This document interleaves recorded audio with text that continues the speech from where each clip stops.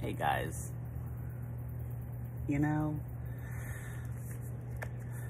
it's been a little bit since I've done a video. I'm been in some of my headspace of dealing with my own kind of things that I need to deal with. Um, things that are difficult for me. Things that, you know, as a family that we are dealing with. And sometimes it's not fun. Sometimes it's very difficult. We have to go through a process of different, you know, equations of how we are dealing with certain aspects of our life. I'm not going to go into a lot of detail of what's going on just because it's personal, private matters. But, you know, I am, you know, human being.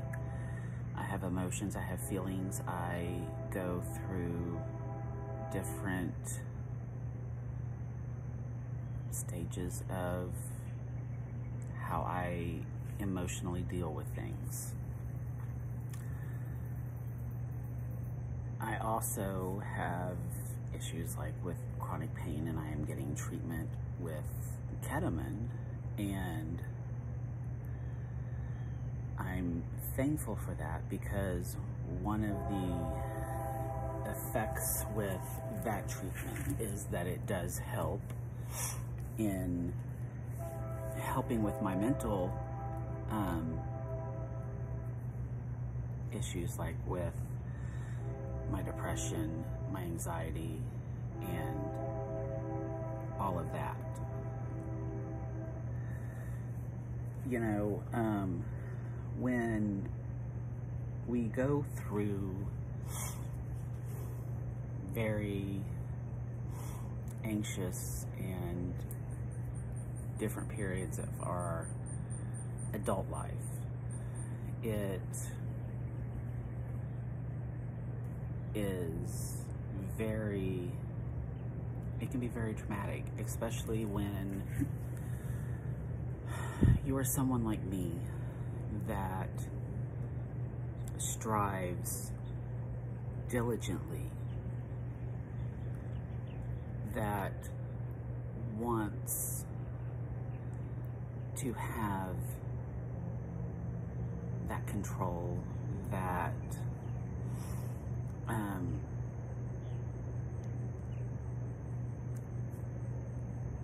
that just that strong avenue of looking at when I look into our lives, it looks perfect. Everything is perfect. They have the perfect house. It looks perfect on the inside. Everything is perfect. And when you have crisis situations that happen, it puts those little cracks in there and it puts those little chips and kind of like a windshield. You call Safelite and they try to patch that up, put that little sealant in there and you think, oh, it's fixed.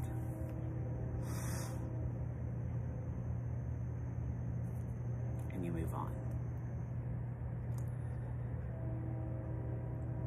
But there are times that that sealant doesn't fix it.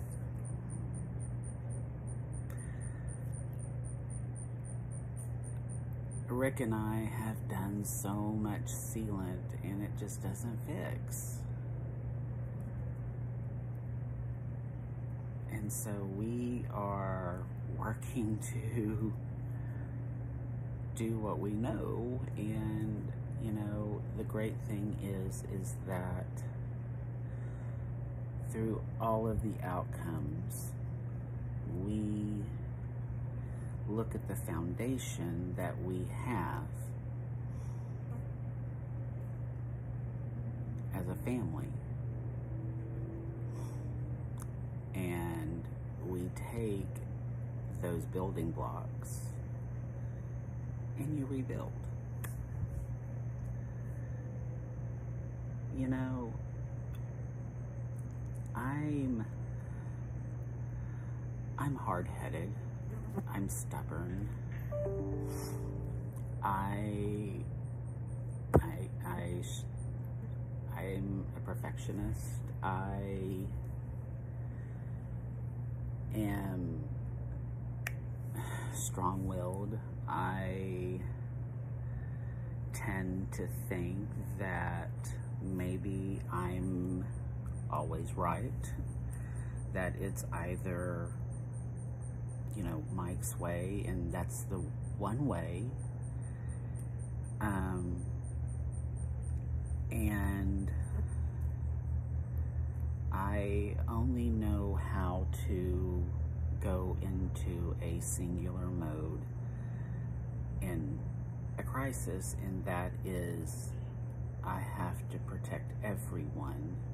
Everyone goes above me, and I don't take care of me. And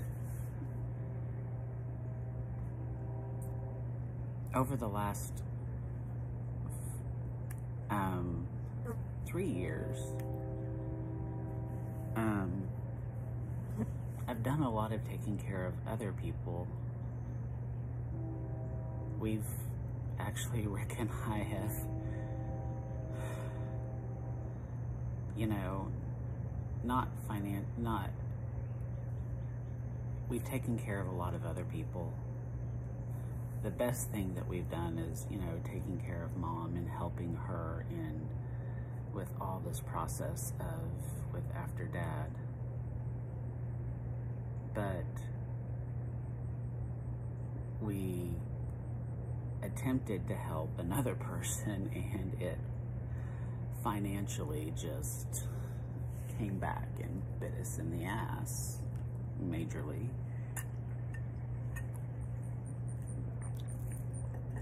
And, you know, we've had to, you know, take a lot of lessons learned. And I've come to realize that I cannot save everybody. Uh, you know, I tried to think that in my family, um, in my one little unit of my mom, my dad, and I don't talk a whole lot about my my sister because um, there's a lot of pain and anger, resentment, and outright hatred because of her actions. But I spent a better part of over a decade and um, trying to drop my life and save her.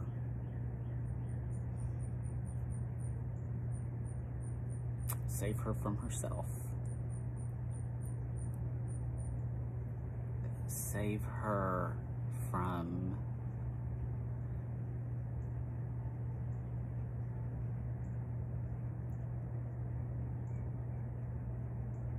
just being that statistic of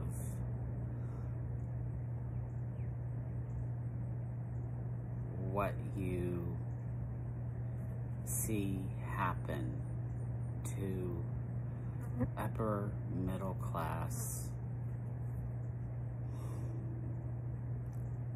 white kids when drugs take over.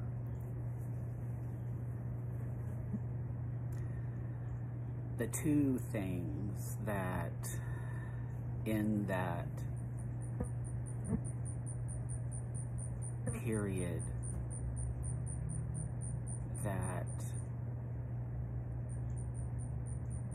we were able to save are my nephew, who is with his dad. I'm so proud of. And my beautiful daughter. And no matter the issues that Anna has, because of what my sister's actions were while pregnant. And there's a lot of resentment and hate and anger because of that. And that protection mode for Anna will never, ever leave me you know, you have to cut those ties and realize that there are things in life that you have to just say goodbye to. Just are.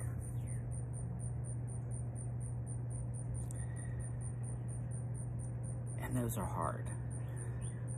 Those are hard lessons. you know, and it kind of brings me to where my family is in dealing with hard things that we are dealing with today. And it's interesting in how I have to try to process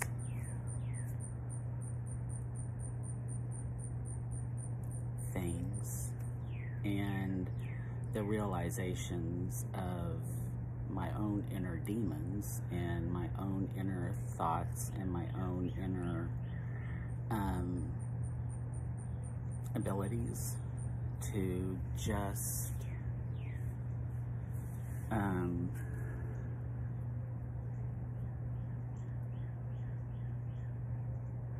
need to rectify the um,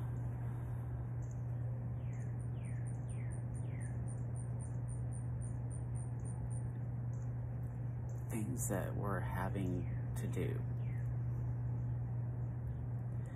Just like I should be happy that I got a brand new car it was what um, our attorneys told us to do. And I should be overjoyed because I got pretty much everything I wanted. This beautiful color, things that I wanted. And I was able to get my payment, you know, cut more than in half.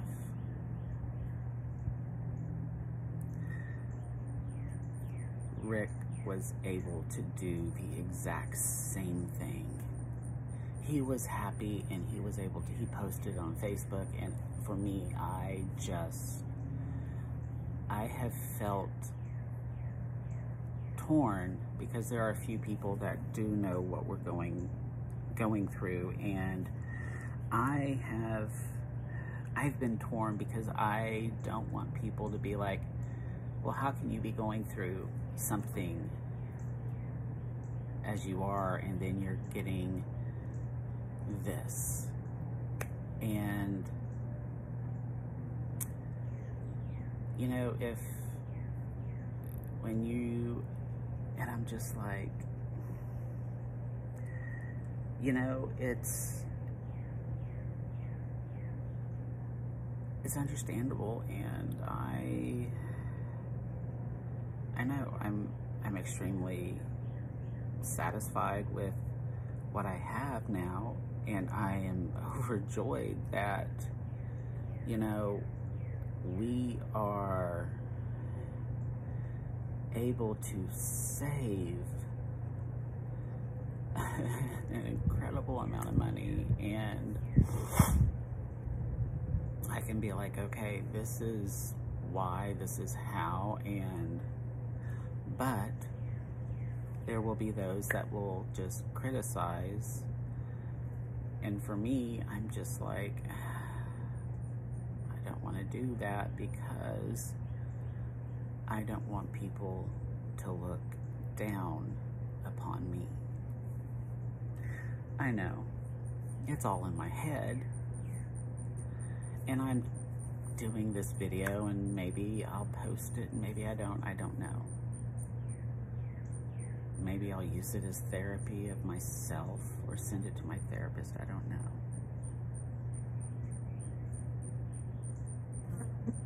It's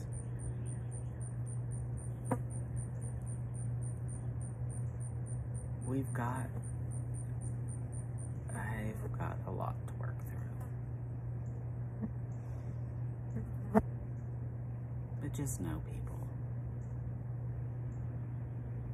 Mike actually is a really uh, a human being.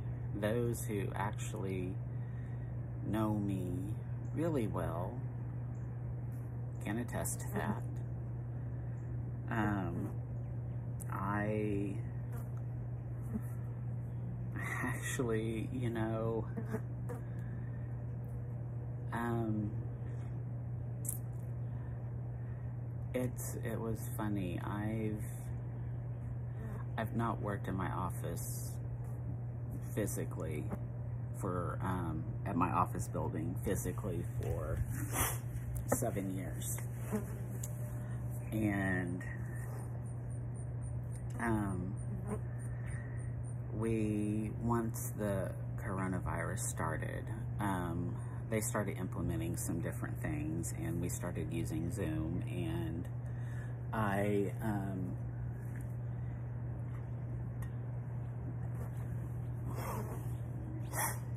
actually started connecting with some people on our our team. I, you know, I didn't really know know them, but I actually started to connect, and I. It's nice to be able to actually say, I have some friends at work. Um, when you guys see this, if you guys see this video, you guys will know who you are. Um, I adore you guys. You guys are, you guys um, inspire me um, because I, when I worked, and it, it really was, I worked very much in solitude for the last seven years. I didn't really interact with the team because I just did my job. I worked to overachieve because I was remote. I didn't want people to think that is, you know, I was this faceless name in Skype and in emails. So all I needed to do was do my job a hundred times better than everybody else so I could prove my worth. And that to me is what I had to do. And then we had this pandemic and I, um, and don't get me wrong, our manager has been so gracious to invite me to things and I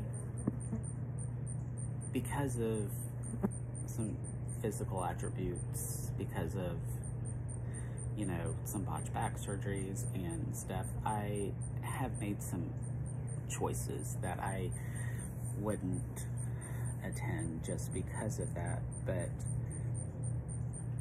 um you know you guys are you guys are you know an amazing group of guys that have really kind of cracked through something that um, is um, something I haven't really had in a long, long time since I started Dell. Well, now that I, you guys know where I work, but in 14 years. I'm working on my 15th year at my company. Um, and I absolutely love the company I work for. They have gone out of the way to take care of us during this time. But I will say, in this last six months, and you know, Connor, Adam, Chad, and Mo, Clara, you guys have really kind of broken through a shell that really just inspires me to, you know, work to uh, want to be a part of the team in a different way, a more um, full way. And, you know, I actively will just reach out, ping you guys, and be like, hey, how are you doing? I normally just have never done that in the last seven years. I've always just been isolated, um, alone. Um, you know, some of the longer term veterans that we have had on our team would, you know, yeah, they would ask me, could I back you up or something? And yeah, I would. But, um, now it's, I, I can, I call you guys friends because that's what I think about you guys. You guys actually are, I enjoy logging on and being able to reach out and say, hey, how are you doing? Having a Zoom call, seeing, you know, Adam seeing your puppy, Connor seeing little Harper, um, Chad just talking and Mo just you are my crazy Muslim brother that has this amazing outlook of life that I have got your back no matter what because you are such an incredible, incredible human being. And since I first met you when you started Dell, have been such a, an amazing, an amazing person. Um, so, and Adam, you're a sweetheart. Absolute, such a sweetheart. And I'm so glad I'm not the only gay on the team anymore. I felt like for a long time, if you, if anybody has ever seen the show Little Britain, I really was the only gay in the village. I really was, except I was not going to be wearing that um, really god awful um, spandex little outfit going into the bar. But on our team, I really was the only gay in the village. Just saying.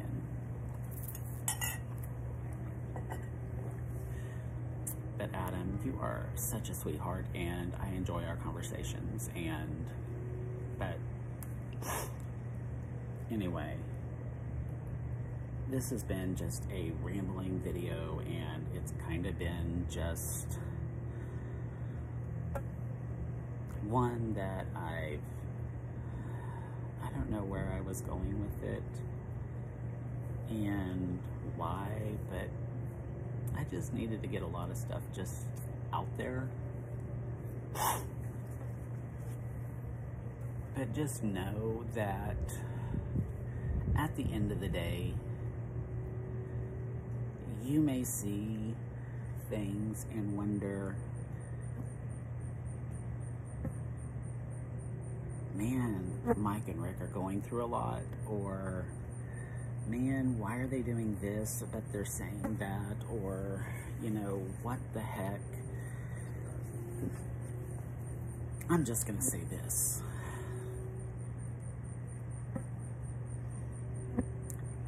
If you want to know, talk to me, talk to Rick. Or if we want you to know, we'll tell you. I'm I'm gonna tell you right now. I'm going through a lot, and if I if I really want to confide in you, I will. But just know, I am partially mentally just a wreck, and so is Rick. Anna needs prayers. She desperately needs your prayers. Um, we are trying to figure out what to do for school.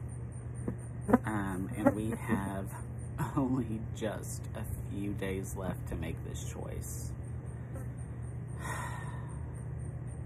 only a few days. And I really, we're just really don't know.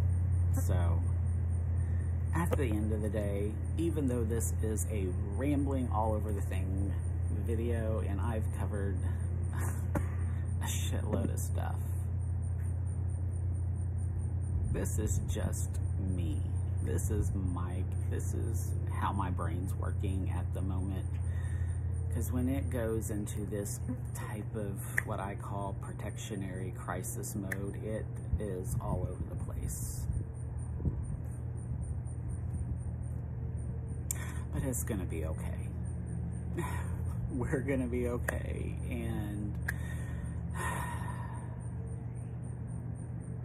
I will be glad if we can just get this fucking virus under control because I'm over it. My daughter's over it. My husband's over it. My mom's over it. And frankly, come November 3rd, if I have to crawl over a bunch of fucking rotten bodies because the state of Oklahoma refuses to allow me to vote by mail-in ballot because they want to make it as hard as fucking possible, I will. Because I am not going to allow that orange fucking Cheeto another freaking term in office. Because I will vote for Joe freaking Biden if he is tumbling down a freaking hill with boulders just falling behind him and Lucille and zombies chasing him. And he's going over rusty barbed wire and razor blades and broken glass. Because I do not want that incompetent, sorry ass bastard in office again for another four years because our country cannot survive it. That was my political moment for the day.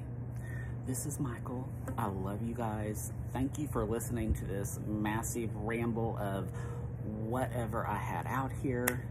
All of these opinions are all mine. They reflect nothing on the company I work for, any of my friends and family. These are all my opinions.